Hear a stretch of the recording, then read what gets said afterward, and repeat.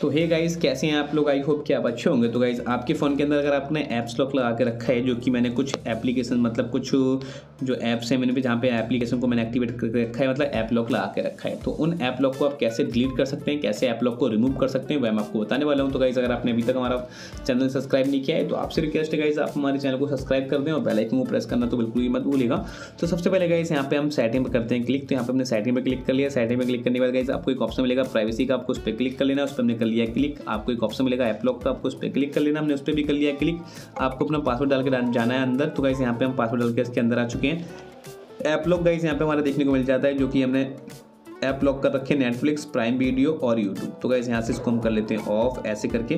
तो गाइज़ ऐसे करके हमारे जो ऐप्स हैं गाइज़ वो अनलॉक हो जाते हैं। अब ये हमारे ऐप्स जो कि गाइज़ अनलॉक हो चुके हैं ओके तो इस प्रकार से गाइज़ आप अपने फ़ोन के अंदर से अपने जो ऐप लॉक को डिसेबल करना चाहते हैं तो इस प्रकार से अपना ऐप लॉक आप डिसेबल कर सकते हैं, उनको मतलब अनलॉक कर सकते हैं। तो गाइज़ आई होप कि आपको हमारी वीडियो अच्छी लगी। वीडियो अच्छी लगी तो वीडियो कर दो लाइक चैनल लो सब्सक्राइब तो मिलते हैं अगली वीडियो में, तब तक के लिए बाय एंड टेक केयर